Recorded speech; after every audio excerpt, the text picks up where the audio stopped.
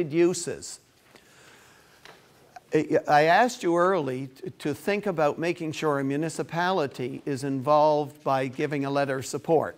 The next step for the municipality is to be represented on your group. And the reason for that is that they know the regulations generally that they have for buildings and any work you plan to do. If your plans are dreaming and they're against bylaws or requirements of a municipal unit, they're not going to be accepted. You still need to follow the regulations. So keep in mind that that representative may be a great resource in your planning to ensure that you don't put things in the plan that are unmanageable or unachievable based upon bylaws of a community. There may be uh, regulations in place for signage. There may be regulations in place for many things to do with buildings, and you need to be aware of that. So it's probably useful to include a municipal offer uh, for a, a municipal representative to be on your group. We're continuing in the, the plan that you have in front of you with the marketing strategy. That's my area. That's something I really enjoy. But we don't always have experts in our communities, do we? Well, yes, we do.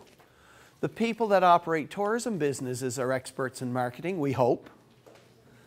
Tourist associations, tourist organizations, provincially, regionally, and locally are great resources because if lighthouses are tourist locations in the new realm, not uh, protectors of people at sea, but more tourist locations, then they are the experts that can market it.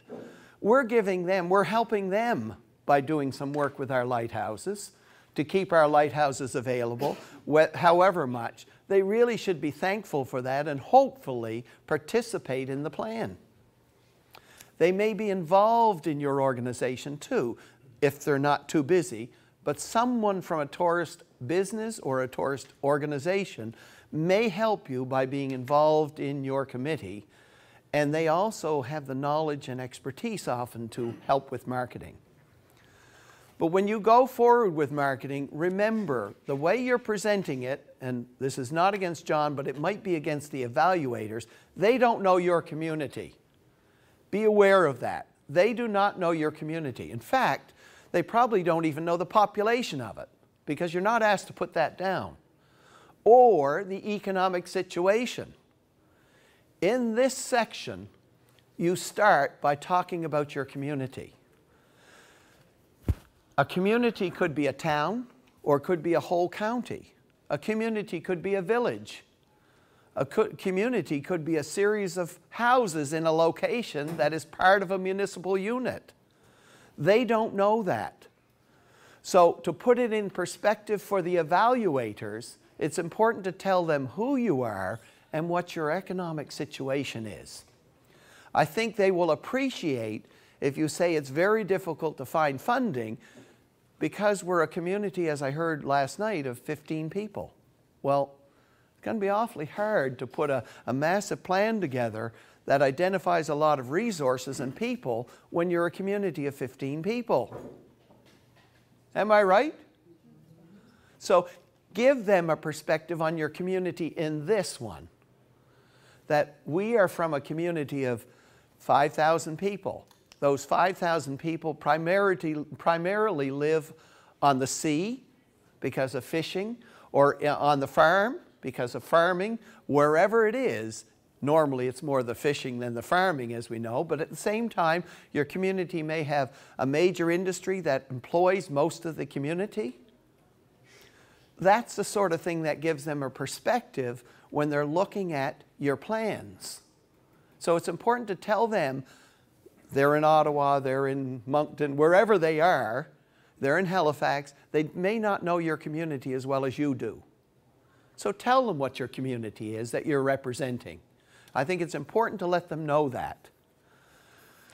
Once you've done that, your marketing is very key.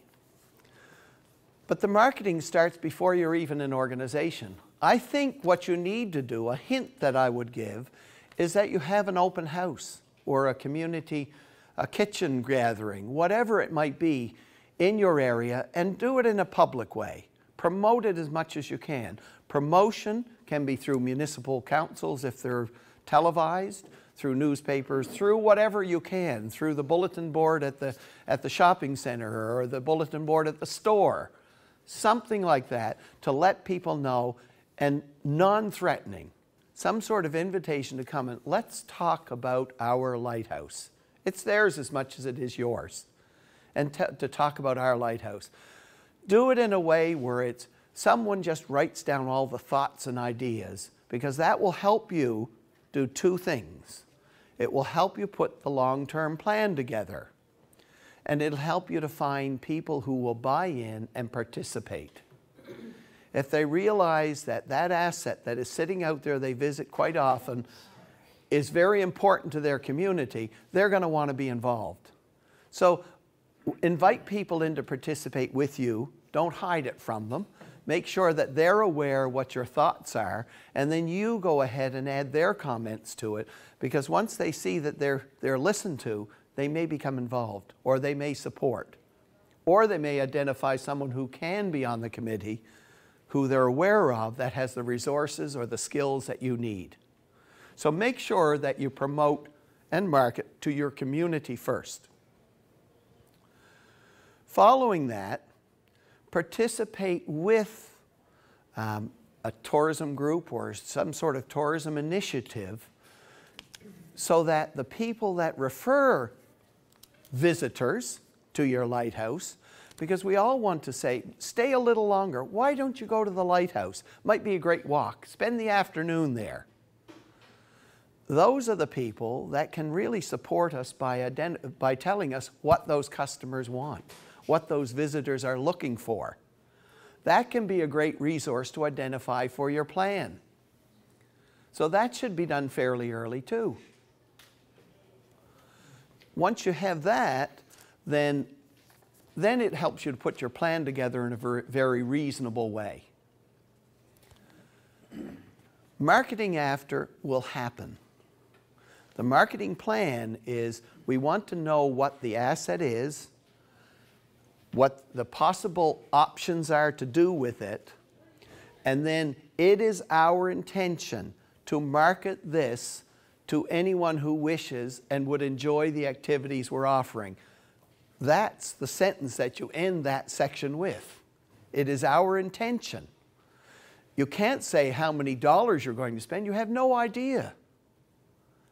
You're involving the partners up front by having tourism organizations, tourism uh, operators, your community citizens involved, they're the best marketers we'll ever have because they're the ones that will refer or bring people to the site. So at the end, we intend to market this facility or this site um, through all means possible once it is established, but you don't tell them how you intend to spend 5,000 on radio and 2,000 here and blank blank here. That evolves. That evolves as your group evolves, as your activities are desired, as the operators say, boy, wouldn't it be nice to have a little card with a little map on it, a hand-drawn map to say how to get to the site. And that it's a walking path, not a driving path, that sort of thing. Something as simple as that can be great, a great resource for a tourism group. It allows them to say, stay longer. Let them do your marketing for you, but you intend to follow that. That's what you say at the end of this section.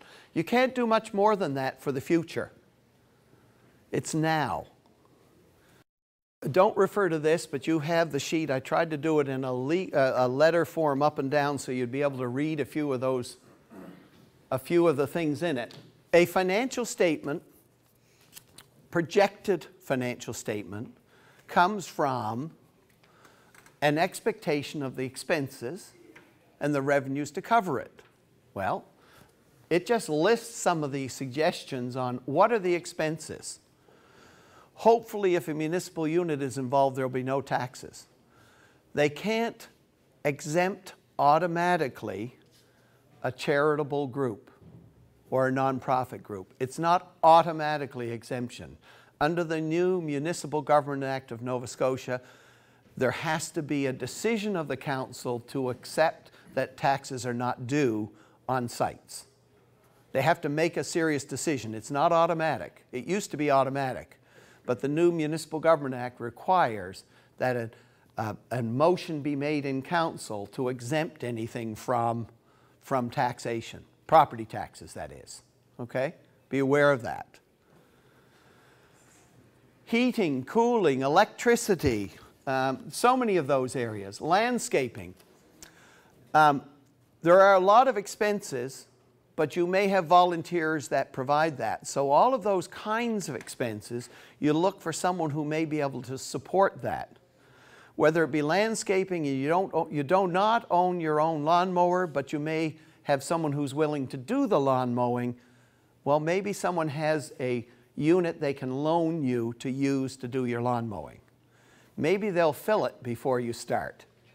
That would be always a great idea. Keep the value of all of those loans, all of those grants, all of those donations of time or talent, keep a record of them. It's extremely important. John and I talked, and we're not sure exactly, but if, there, if you put down the total expenses that you'd have to pay out to someone to do all of those things, that's the cost of operating your lighthouse or your prop, the property.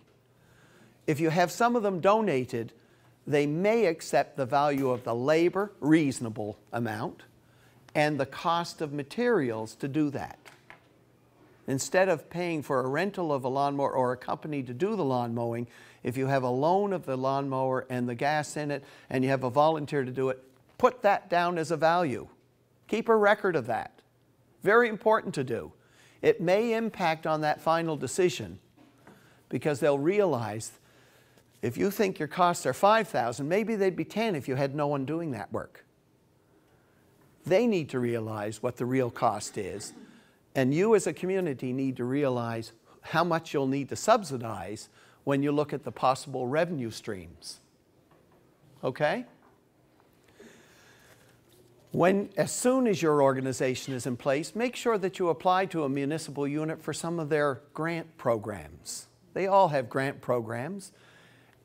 Do it at that time. Don't wait until you're in operation, until you've taken over the site. As a group, you can provide a service in the community and the municipality can support that.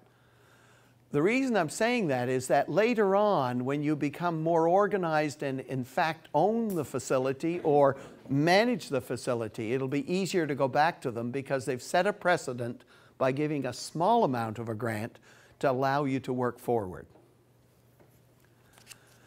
And possibly that grant is what you can match to get your business plan done, a serious business plan if that's what you need.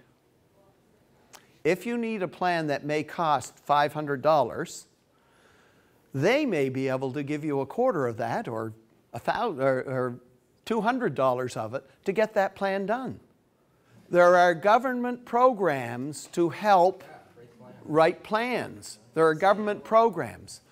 Right now, a program that has ended, but within the next month, they expect, uh, ACOA expects to sign it off to the Community Business Development Corporations. Do you know who they are? Do you, I'll refer in a second. I've got their website here. The Community Business Development Corporations are organizations that provide financial assistance or consulting assistance to small businesses. They now can work with nonprofit organizations too and provide funding or support. The program I'm referring to is called the Consulting Assistance Services. ACOA used to provide 75% of the cost for a business plan to be done by a professional. They're transferring that program to the, these corporations. You all have one in your area somewhere. There are 13 of them in Nova Scotia throughout the province.